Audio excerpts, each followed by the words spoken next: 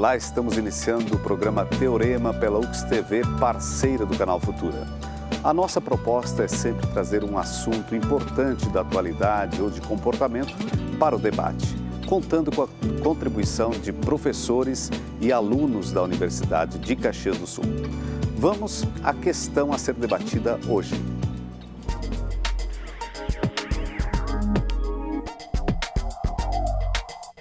A organização é algo fundamental para a vida como um todo. Algumas pessoas, no entanto, parecem ter um perfil que só conseguem viver se tudo estiver no lugar. Nos estudos e no trabalho, a organização assume um papel ainda mais central. Mas se por um lado a desordem pode causar muitos atrasos e situações desconfortáveis, como a perda de tempo procurando um documento importante em meio à bagunça, por outro, abre espaço para a espontaneidade e criatividade. Por isso, o teorema de hoje pergunta: como ser uma pessoa organizada e criativa ao mesmo tempo? Está lançada a pergunta e para respondê-la nós contamos com a participação da professora e pesquisadora em educação da Universidade de Caxias do Sul, professora Neiva Panosso. Bem-vinda, professora Neiva, tudo bem? Obrigada, tudo bem. Também a professora de psicologia da UX, Clarissa Scherer. Bem-vinda, Clarissa, tudo bem? Muito obrigada, tudo bem.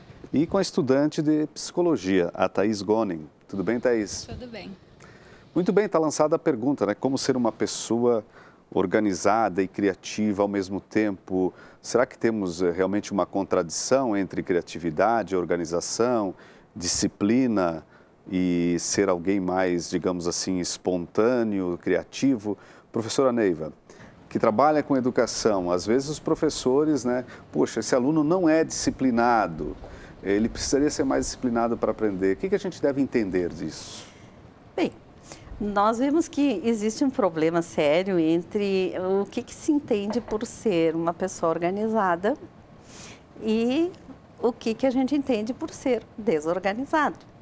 Algumas pessoas têm capacidade de se organizarem ou se planejarem dentro de uma certa desorganização. E, ao mesmo tempo, essa questão ela é muito pessoal se a rigidez desse processo, ele com certeza, a, a hiperorganizada uhum. vai deixar espaço fechado para essa outra questão, que é necessário ter a espontaneidade, a liberdade, quando nós vamos pensar em sermos criativos. A criatividade, ela também aparece em situações bem inusitadas. Quer dizer, as novas ideias, nós vamos depender principalmente de processos associativos que vão ocorrer uh, até de forma quase que inconsciente. E, às vezes, nós temos um, algum estereótipo também, né? Que vamos pensar na criatividade como aquela destinada ao artista, né? Todos somos criativos. Mas, aparentemente, uh, o artista seria aquele como um exemplo da desorganização. Mas não e é no, por aí. Né? É, e normalmente os artistas dizem, existe muito trabalho. É muito trabalho, né? é, é muito. Inspiração eu suor. diria, Eu diria planejamento. Nós precisamos planejar tempo, planejar nossas ações. Nós planejamos coisas corriqueiras, como inclusive na hora de sair de casa, qual é o caminho que eu vou fazer? E muitas vezes, se nós deixamos o automático nos levar, nós vamos para o lugar errado, porque naquele dia nós precisamos criar uma outra rota, né? Não há um GPS tão não, automático é, aí, não às é vezes tão dá, automático não dá certo. Assim. Clarissa, o que você diria no início do programa sobre essa questão de ser uma pessoa organizada e criativa ao mesmo tempo? É, como a professora Neiva falou, realmente não dá para nem ir para um extremo e nem para o outro, né? Nem sermos extremamente desorganizados e nem uh, extremamente organizados. Mas claro que isso vai depender essa esse esse perfil de, de organização e desorganização vai depender do padrão de cada um mesmo, né? E das, das necessidades de cada um. Quer dizer, normalmente aqueles que têm um maior número de atividades acabam é, precisando ser mais organizados, né, até para conseguir dar conta de tudo, de todas essas atividades. E aqueles que, que não têm, conseguem uma, uma flexibilidade maior, né, para se para se desorganizar um pouco, mas de qualquer forma, assim, dentro do seu da sua rotina de vida, né, é, tem que poder transitar um pouco entre esses dois aspectos, né, de organização e desorganização, até para conseguir criar. E, e, todos nós precisamos ser artistas né, no nosso dia a dia e nos mais diferentes tipos de trabalho, de estudo. Né, precisamos estar criando, inventando um jeito de fazer as coisas que seja mais uh, saudável e mais prazeroso né, para cada um. É um processo que a pessoa também vai fazendo, vai adaptando. É, ela tem características, mas ela também pode se educar é, e às vezes pode relaxar um pouquinho, ser mais criativa, se ela está muito presa. É, a psicologia vai por aí também, Clarissa? Sim, com certeza, né? E claro, é, entender se uh, essa organização, ela também nos permite entender um pouco como é que está o funcionamento dessa pessoa, né? Como é que está o, o, o, o, funcionamento mental, enfim, se é que dá para nós falarmos, né? Também reflete um, um pouquinho esse é, é, esse jeito de, de, de, viver de cada um, né? Thaís, você que está praticamente concluindo a, tua gradua, eh, a sua graduação, é isso? Isso. Uhum. E aí, muita organização para estudar, mas também um espaço para criatividade, para o lazer junto? Isso mesmo. Uh, como a prof. Clarissa falava, um, é uma questão de, de adaptabilidade, então nem, nem tanto ao céu, nem tanto ao mar, né? Uh, Pode segurar o microfone mais pertinho? Sim. Uh, é preciso que se tenha, assim, uma organização. Eu, por exemplo, sou uma aluna que tem muitas atividades. Além de aluna, eu sou bolsista, estagiária, monitora, então eu preciso de uma organização maior do meu tempo. Mas é óbvio que também eu preciso, dentro dessa organização, uh, gerir um espaço de, uh, de folga, né? Até para que para exercitar a criatividade, para poder uh, não, não trabalhar com tanta rigidez. Com inspiração. Isso aí. Eu até queria colocar, quando se fala em criatividade, existem dois componentes importantes da criatividade, que é a flexibilidade e a fluência. Se nós não somos flexíveis, com certeza as ideias não aparecerão e não, não existirá a fluência de ideias. Tá? Então, as pessoas que têm até por, pelas formas como encara a vida, né, eh, serem muito rígidas, elas dificilmente terão ideias inovadoras porque a, a situação não permite.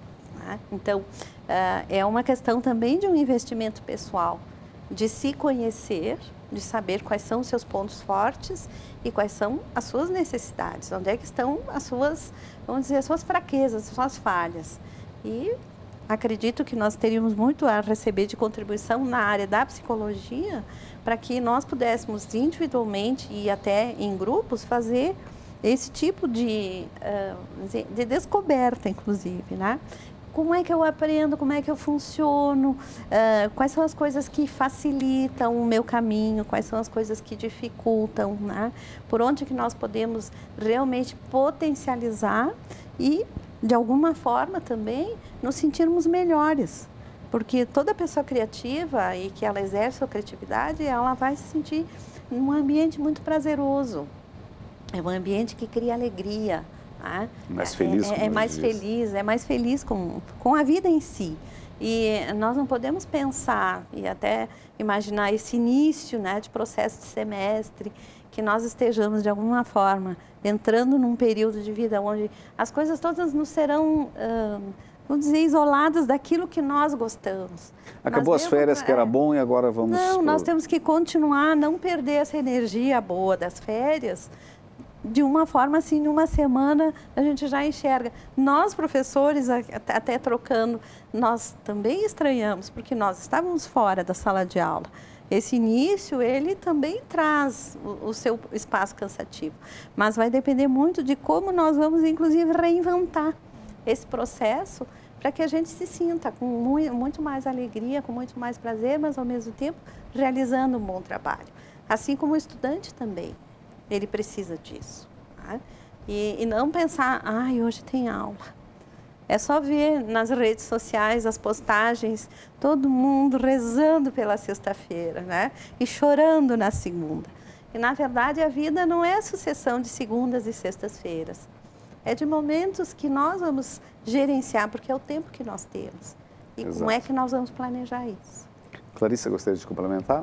Sim, e a, aproveitando, então, né, é nessa, nesse espaço da semana, em meio às, às nossas uh, obrigações, atividades, enfim, que ao nós eh, ao criarmos nós vamos também sentir prazer né? Aquela aquela sensação de de estar tá construindo algo novo. E por isso a vida pode ficar mais mais feliz né? Pode ser mais prazerosa. Então é, não não só esperar para aquele momento onde tudo esteja sob controle né? Porque não não é assim né? A vida não é assim. Ela é cheia de imprevistos cheia de é, de desafios.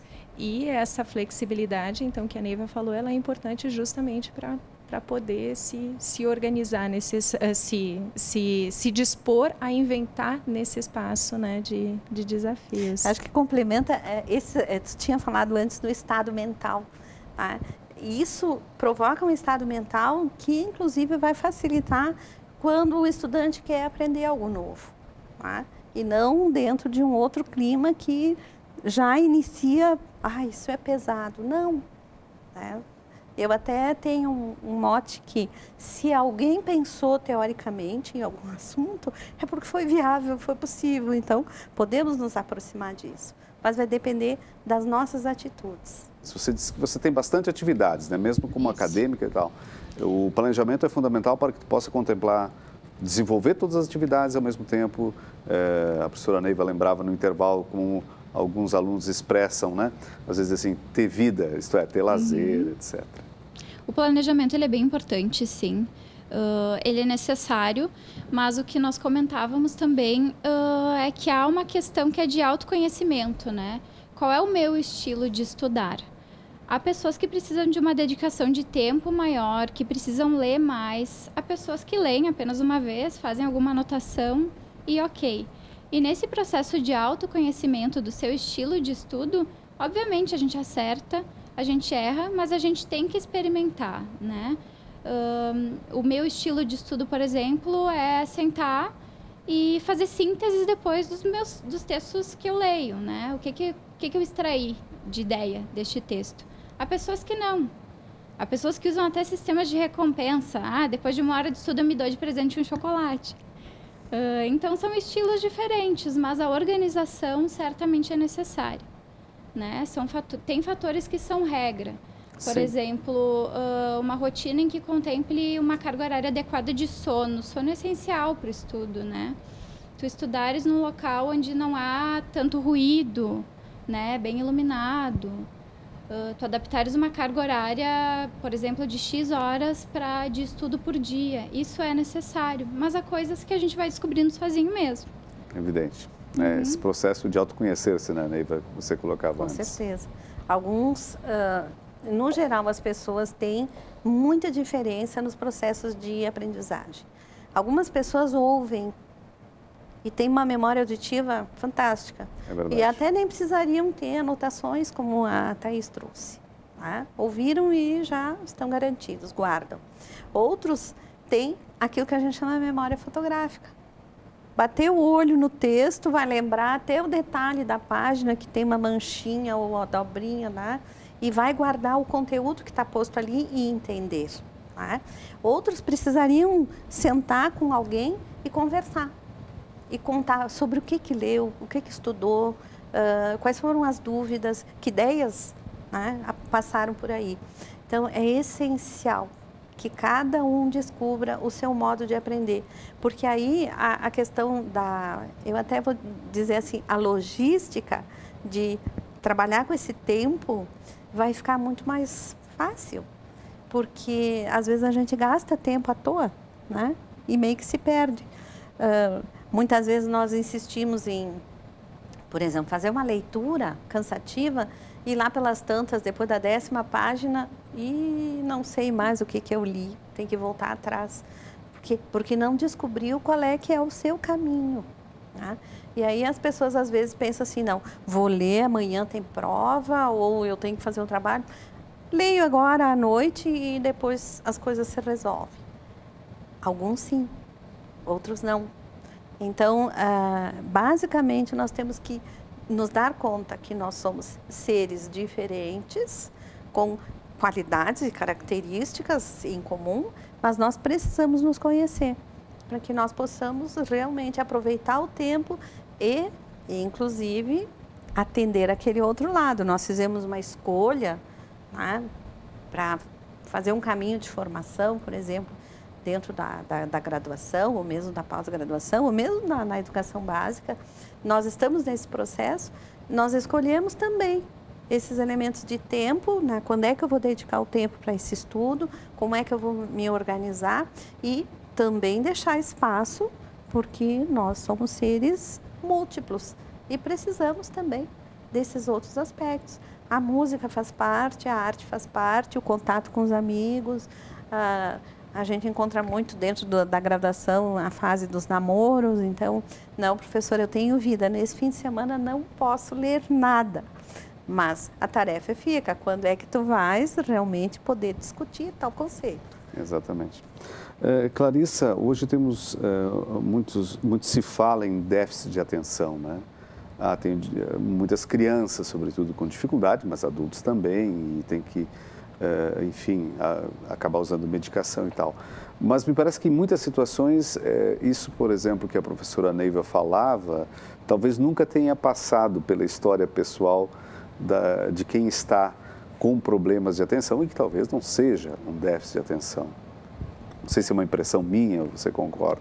É, esse é um assunto bastante polêmico dentro da, da nossa área, porque é, realmente é, se vê um, uma, uma incidência muito grande né, de, de pessoas que, que se auto-identificam né, se, se auto como como hiperativas ou é, nós até no senso comum, né, identificando os outros como hiperativos, mas isso requer um, um diagnóstico muito criterioso.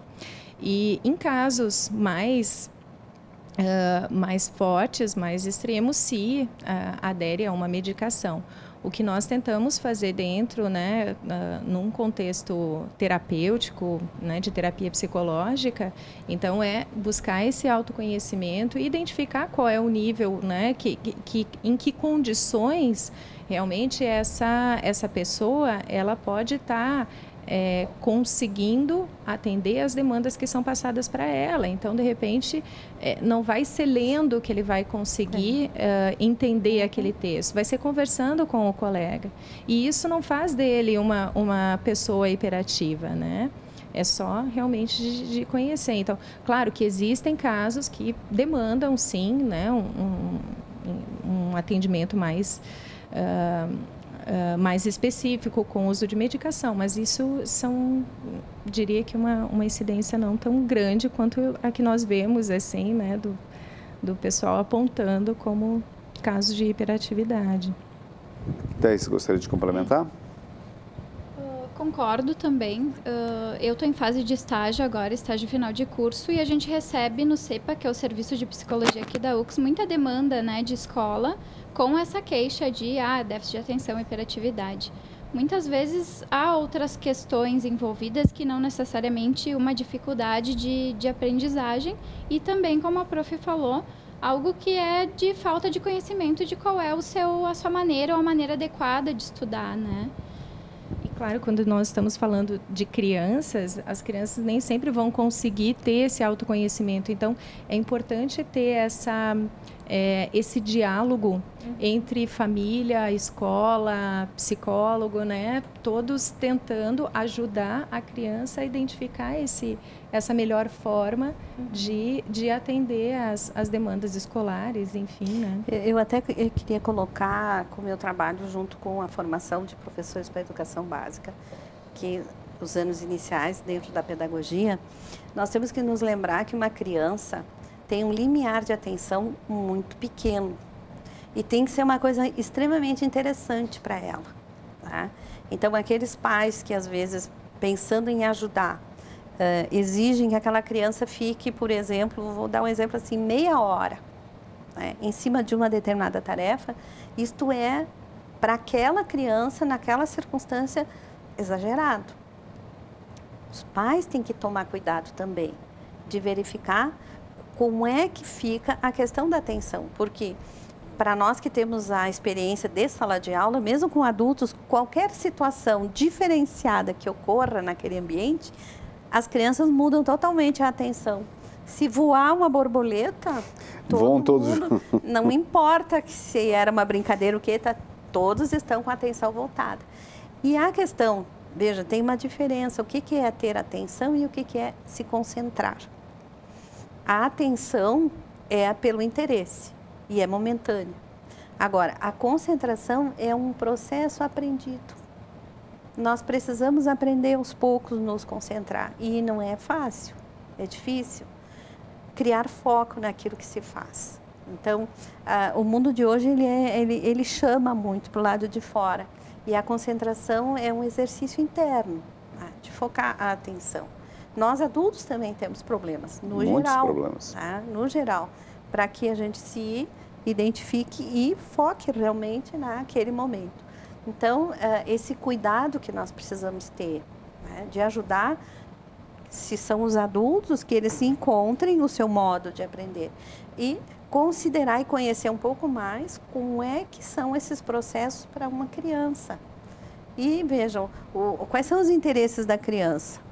A partir daí, nós vamos trabalhar com isso. Agora, um adolescente terá interesses muito diferenciados. Né? E com certeza nós, professores, às vezes nos iludimos que nós somos as pessoas mais interessantes do mundo e que o conteúdo que vai ser trabalhado é assim empolgante. Pode ser para nós, né? E aí, veja bem, nós precisamos sim sermos criativos, reinventar esses processos, buscar com os nossos alunos as informações, inclusive, para que nós possamos ajudá-los. Né? Inclusive a serem organizados e a serem criativos. Dizer, dentro desse processo que a gente chama de pedagógico, a nossa intenção é que tudo aconteça da melhor forma possível e que esses nossos alunos e nós mesmos estejamos aprendendo. Agora vai depender muito da nossa atuação, de que modo nós também entendemos esse processo, se nós conhecemos como nós aprendemos individualmente, isso não quer dizer que se aplique diretamente a todos os nossos alunos. Perfeito. Porque às vezes nós professores nos equivocamos. Imaginamos, não, eles nos ouvem e eu aprendo ouvindo, então está tudo realizado. E às vezes eu vou brigar com o aluno que está lá fazendo anotação, ou às vezes até está usando os seus equipamentos eletrônicos para fazer as suas anotações. Tá? Então, nós vamos encontrar sempre coisas inusitadas. E se nós formos inflexíveis, o nosso sucesso também vai ficar comprometido. Perfeito. Nosso tempo se esgotou, não quis interromper a professora Neiva, porque estava tão interessante a sua fala e precisava também completar o raciocínio. Agradeço, então, considero ela uma fala conclusiva de todos, né? Peço licença por isso a Thais e também a Clarice. Obrigado pela participação. Certamente é um tema que permite a gente desenvolver uma discussão ainda maior e está no nosso cotidiano. O Teorema de hoje termina por aqui. Nós voltamos na próxima edição com outro assunto.